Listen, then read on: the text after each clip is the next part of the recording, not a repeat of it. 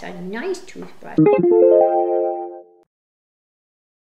So a lot of people have the finger toothbrushes and that's really, really great. It's a great place to start. Um, I don't think it provides enough abrasion on the teeth to really do too much, but um, I think it's good to actually, for them to actually have abrasion on the teeth. So, but here's a nice little finger toothbrush I'm sure everybody knows of.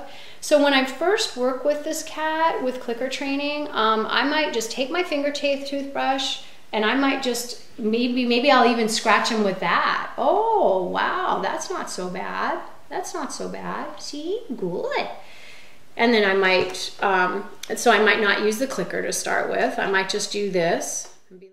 Hey guys, I think that it's a great idea for you to get in there and brush your cat's teeth to prevent tartar buildup, to spend less money at the vet, to minimize the need for extractions, keep those um, cavities from coming, to familiarize yourself with your cat's normal um, oral anatomy, and to notice any small growths or discharge or coloration or inflammation. And so I think you should just get up in the morning and start doing it. And um, this is another uh, photo to show you guys how what uh, all the see that inflammation around this cat's teeth. And um, all of that inflammation could be prevented by brushing. Brush. And the only reason I'm going around here is because Trish has kind of trained him to be rewarded around his head, it looks like, which yeah. is fine, which is great. We condition our animals. So, but if I'm gonna just teach him to um, to get kind of used to this, we'll have you click in just a second. So the first step is is going to be that I'm just gonna be able to hold his head like this. Watch that this finger doesn't go in that eye. It's back on the zygomatic arch.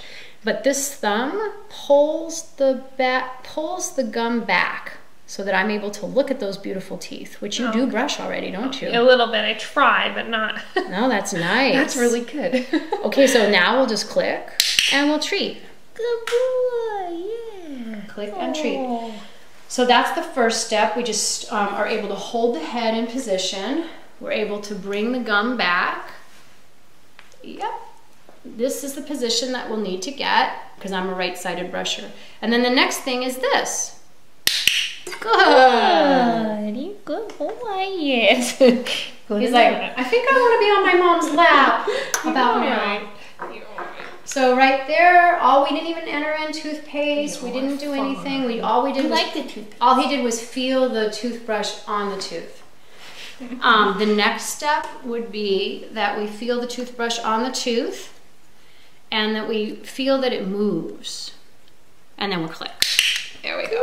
Good. Oh, yes. See how we're giving him a little bit of time in between, so he's getting a release here.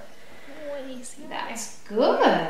boy. And then so the last step is to put just two drops of Vet's Life or PetzLife oral gel on the uh, toothbrush. And that's the only amount, we just use a tiny bit. It's an essential oil based product, it keeps the tartar off the teeth pretty well especially if you do it three times a week.